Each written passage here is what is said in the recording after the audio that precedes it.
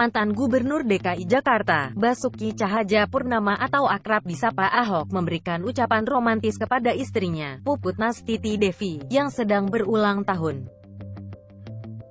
Ucapan itu terlihat dalam unggahan akun Instagram Ahok, @basukibtp, seperti dikutip Kompas.com, Jumat, tanggal 15 Mei tahun 2020. Selamat ulang tahun istriku, Puput tulis Ahok. Dia mengucapkan rasa syukur Puput menjadi pendamping hidupnya. Saya bersyukur memiliki kamu yang penuh sukacita dan peduli kepada saya, Mama, Josafat dan keluarga, tulisnya. Ahok juga berharap istrinya tersebut mendapatkan kebahagiaan. Teruslah menjadi istri yang takut akan Tuhan, dan selalu diberikan kesehatan dan kebahagiaan, tulis Ahok.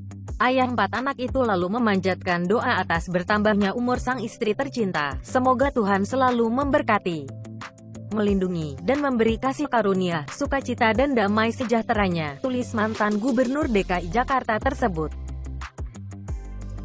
Adapun Ahok menikah dengan Puput pada tanggal 25 Januari tahun 2019. Kini, keduanya telah dikaruniai seorang anak yang diberi nama Yosafat Abimanyu Purnama. Sebelumnya, Ahok pernah berumah tangga dengan Veronica Tan selama kurang lebih 21 tahun.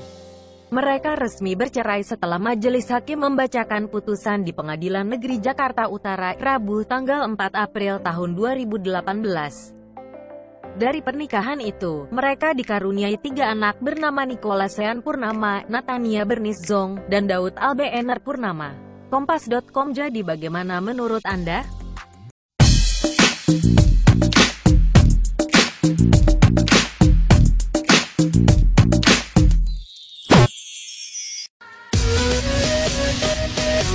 Thank